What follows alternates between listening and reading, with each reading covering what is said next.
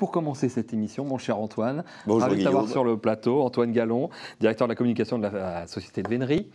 Alors la vénerie, évidemment, c'est à l'ordre du jour. Je crois que vous êtes euh, là en ce moment euh, euh, parmi les derniers à encore pouvoir chasser. Il y a encore un peu de chasse au grand gibier, encore pendant un, un bon mois. La vénerie, encore deux mois. On sait que tous les deux, vous êtes de grands adeptes, hein, c'est le moins qu'on puisse Oui, dire. oui, oui. Euh, donc Antoine, on, on avait euh, choisi un sujet qui, qui pose question. Où ont le droit de chasser les veneurs Parce qu'on les voit en forêt domaniale, on les voit euh, dans euh, certains, euh, sur tous les territoires ruraux, parfois dans des forêts privées, sur des domaines privés. Donc, à toi de nous dresser un peu le panorama oui, de, la vénerie. Merci de m'avoir posé la question parce que c'est vraiment l'occasion de fournir plein d'explications sur ce qu'est la chasse à cours, sur comment se passe la chasse à cours. Je vais commencer par vous dire où on ne chasse plus.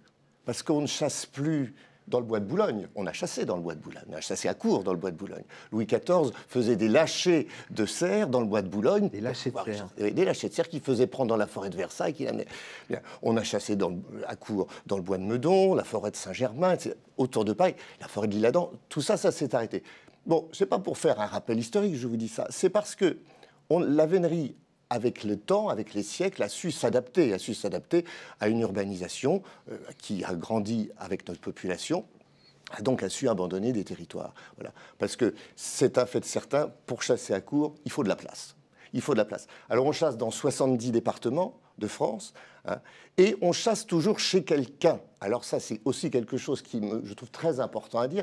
Pourquoi je dis qu'on chasse toujours chez quelqu'un? En ce moment, on a des candidats aux élections qui nous expliquent qu'ils veulent un jour pour aller se promener à la Et campagne. oui, la nature appartient à tout le monde. Eh bien On non. bien. Eh bien non. La nature n'appartient pas à tout le monde. Et je ne vais pas venir me promener dans ton jardin ni faire mon barbecue chez toi. Et pas plus, tu n'iras dans le bois de Jackie ou dans, ou dans celui de Daphné. Sur invitation. Alors sur invitation, oui, c'est là où tu commences à entrer dans mon sujet. Ce que je veux dire par là, c'est que on est toujours chez quelqu'un et on va voir un peu comment ça se passe. On est chez quelqu'un sur 17 millions d'hectares en France, il y a 55 millions d'hectares hein, en France. 17 millions en France métro- métropolitaine, c'est de la forêt. 28 millions. Un tiers. Ouais, 28 millions, c'est l'agriculture, et il y a 11 millions d'hectares qui sont dédiés à l'urbanisation. Ça veut dire qu'il reste en gros donc 44 millions d'hectares, si on enlève les 11 millions urbains, pour chasser à court, à tir, à l'arc, à tout ce qu'on veut. Donc ça nous laisse un terrain de jeu assez important. Alors, pour revenir aux chasseurs à court, plus en particulier, on chasse dans deux types de territoires, des territoires publics ou des territoires privés. Euh, territoire privé, la forêt privée, c'est 75% de la forêt française. hein. On, on le répète. Oui, contrairement à ce que certains pensent. hein. Également, 75%. La forêt domaniale et la forêt communale, 25%. Le reste. Donc, on chasse d'abord dans le privé. Alors après, selon qu'on chasse le lapin, euh, le chevreuil ou le sanglier, il ne faut pas le même territoire. Le lapin, si tu as, si tu as un territoire qui fait 50-100 hectares, c'est suffisant. Un sanglier, à moins de 1000, 2000 hectares, je parle de- devant Daphné avec prudence, mais euh, euh, on ne peut pas avoir l'espace disponible. Alors je dis bien espace disponible. Parce que la question maintenant, c'est chez qui chasse-t-on? Bah, Tu peux chasser chez toi. Si tu as 50 ou 100 hectares et que tu chasses le lapin avec 5-6 petits chiens, bah, tu vas avoir largement de quoi faire. Tu préviens tes voisins, 50 100 hectares, il faut les avoir. il faut les avoir. C'est pour ça que je suis parti par ce, commencer par ce cas qui n'est pas le plus fréquent. En réalité, généralement, quand tu chasses le lièvre, prenons un exemple un peu plus fréquent, puisqu'il y a une centaine d'équipages de lièvres, c'est le, quart de nos équipages. À lui seul, le lièvre fait le quart de nos équipages, un peu plus.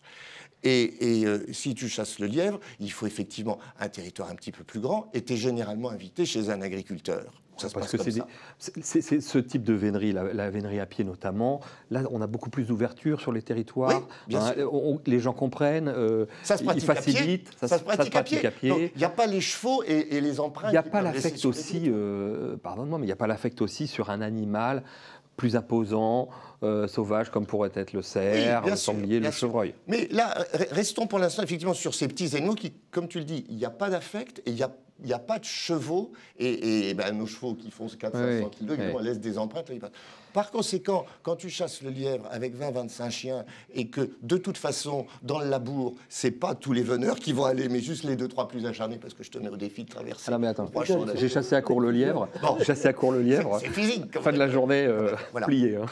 Donc, Premier point, tu t'es invité chez un copain agriculteur. Le copain agriculteur, il a beau avoir 100, 150, 200 hectares, tu peux être sûr que lièvre, il va aller chez le voisin. Donc, première précaution, faut que tu sois invité à aller, que les voisins soient au courant et autorisent. Parce que le point qui, que je, par lequel j'aurais dû commencer, les veneurs ne chassent que là où ils y sont autorisés.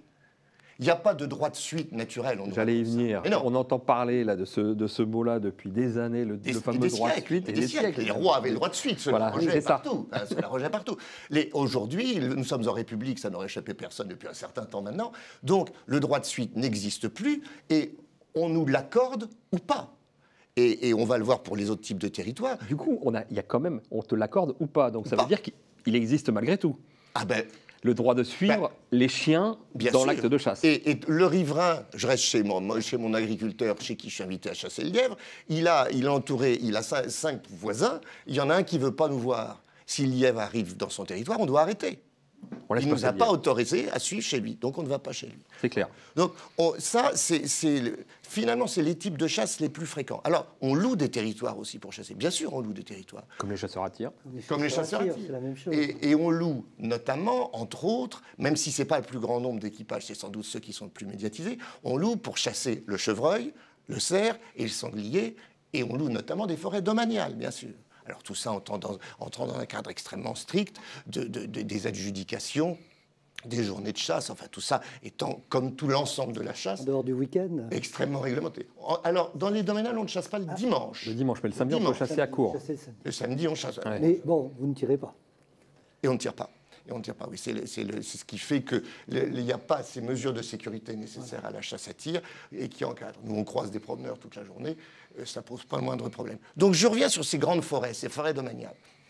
Si, si on, il est indispensable de connaître les riverains, parce que c'est pareil, les sangliers, les cerfs, ils ne connaissent pas le fossé de périmètre de la forêt domaniale. Donc, on doit forcément entretenir une relation avec chacun, chacun de nos riverains. On va les voir avant, le matin, la veille, et après, et, après, et, on va euh, partager un petit moment avec eux. Et puis, et puis enfin, c'est une négociation euh, fraternelle, généralement, je dis fraternelle parce qu'ils sont souvent également chasseurs, chasseurs à tir, et, c'est une négociation, mais on n'est pas là non plus pour mettre le désordre. Légitimement, imagine un riverain qui a un bois avec une chasse à tir, si on arrive avec un chevreuil, enfin des trois grands animaux, chevreuil, sanglier, cerf, qui, et qu'on passe l'après-midi à fouler parce qu'on a perdu notre animal, c'est pas la peine qu'ils viennent à la chasse le lendemain. Donc on ne le fait pas. On ne le fait pas. Il s'agit de cohabiter harmonieusement avec l'ensemble du monde de la chasse, avec les riverains également en général. Donc c'est un travail permanent d'entretien de relations. Il y a des endroits où on arrête, on n'a pas le droit Antoine, il y a, juste une chose, c'est que ces relations, elles deviennent de plus en plus difficiles, il faut être honnête, avec des gens qui comprennent moins, avec des gens qui connaissent pas pour certains. Hein. je pense euh, à certains néo-ruraux qui, qui ont vraiment une, aversion pour la chasse ou qui ne la connaissent pas du tout. Comment est-ce qu'on fait pour euh, aborder ces sujets-là? Il y a deux types d'environnements différents. Et, si, j'ai commencé en vous parlant du bois de Boulogne et, de la forêt de Saint-Germain, c'est pas pour rien. C'est-à-dire qu'il y a des environnements qui deviennent très suburbains. Alors, mhm. nos, amis qui chassent dans, ces forêts-là n'aiment pas qu'on le dise, mais, mais c'est pourtant vrai, où les villes sont de plus en plus proches. Et quand les villes sont proches, ça veut dire qu'il y a des, des, des, des, résidences euh, pavillonnaires autour qui se construisent, qui se construisent parfois là où étaient les animaux, là où vivaient, là où bramaient les cerfs, là où ah vivaient les. Et, et donc, c'est avec ces nouveaux venus de la campagne, ces néo-ruraux, qu'il faut apprendre à habiter. Et c'est certainement pas facile. Oui, on a effectivement, s'il y a une attention qu'on a, nous, veneurs, je nous, la communauté des veneurs, c'est de l'acceptabilité de la chasse à cour dans, ces territoires-là. À côté de ça, il y a des territoires qui sont en pleine campagne, pour lesquels il n'y a aucun problème. Ils ont toujours connu la chasse à cour, ça n'a jamais posé de problème. Il nous reste deux minutes, Antoine. Euh, euh, est-ce qu'on va vers euh, plus de chasse dans des forêts privées, euh, compte tenu de, ce que tu viens d'évoquer, ou, est-ce qu'on va continuer à avoir cette entente, je dirais, que ce soit en forêt domaniale, où on sait qu'il y a des enjeux aussi forts de, cohabitation, de partage, d'échange de la nature. Euh, quelle est la, tendance, la grande tendance? Alors, clairement, euh, les forêts domaniales gérées par l'ONF, l'ONF a une vraie conscience de la valeur patrimoniale de la chasse à cour. On est, on est, en termes de prélèvement, nous sommes des, faibles, euh, faibles performeurs, je dirais, mais, mais la valeur patrimoniale de la chasse, qui est la cour, qui est la mère de toutes les chasses, c'est ce que je me plais à répéter toujours. Ah ça, c'est parce que tu es partie prenante. Un petit peu, peut-être.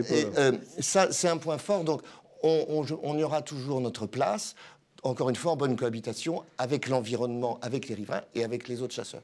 Après, effectivement, ce qui s'est développé au cours des dernières années, des, des, 40 dernières années, c'est la vénerie du lièvre, énormément, la vénerie du chevreuil aussi, pour lesquels des territoires privés conviennent très souvent. Moi, je connais des équipages de chevreuils qui chassent dans 25 territoires, qui font 70 chasses par an dans 25 territoires différents parce et ils sont accueillis à chaque fois dans un territoire nouveau, qui est un territoire privé.